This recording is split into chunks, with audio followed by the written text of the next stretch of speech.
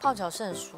乔洋姐应该巨多无比，不是我，呃，我泡澡，你研究各种泡澡的东西，对我研究各种各种的那种泡浴球啊，什么有的没的，而且我泡澡那个浴缸就会有一个桌子，就是在那个浴缸上面有一个桌子，放可以搭在浴缸上面。对，放 iPad，放卤主播卤煮就觉得不太适合，掉到浴缸里，哎呀，捞捞起来吃。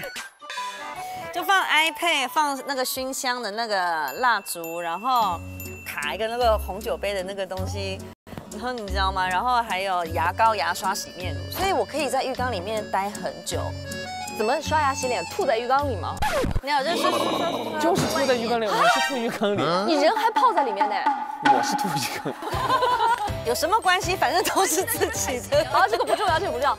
重要的是当下那一刻自己放不是开心。刷牙要摆到最后面，因为你先放下去，对不对？你要开始先洗脸，然后洗完脸之后再把那个浴球倒进去，因为你浴球的水就不能拿来洗脸了，然后再倒进去，然后刷牙是最后的步骤，就可以把水放掉了那样子。他说这段的时候，他是很开心的，很开心他很享受这个过程。对我非常喜欢泡澡。独居十七年的一个经验，大家要学着点儿。